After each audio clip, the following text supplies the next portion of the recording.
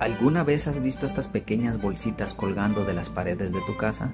¿Sabes qué son? Se llama polilla del estuche y hoy vamos a ver cómo es su casa bajo el microscopio. La llevamos a nuestro microscopio y esto es lo que vemos.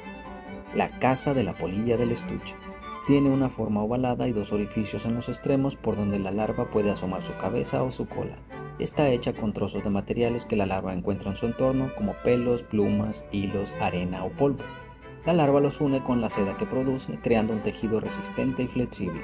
El color y la textura dependen del tipo de materiales que usa, con lo que permite camuflarse entre los objetos que la rodean. Cuando está lista para convertirse en adulta, fija su estuche en un lugar seguro y se transforma en una delicada mariposa nocturna. Y así es como esta pequeña criatura se protege y se desarrolla. ¿Te ha gustado el video? Pues déjanos tu comentario y dale like y suscríbete a nuestro canal para ver más videos como este. Nos vemos hasta la próxima.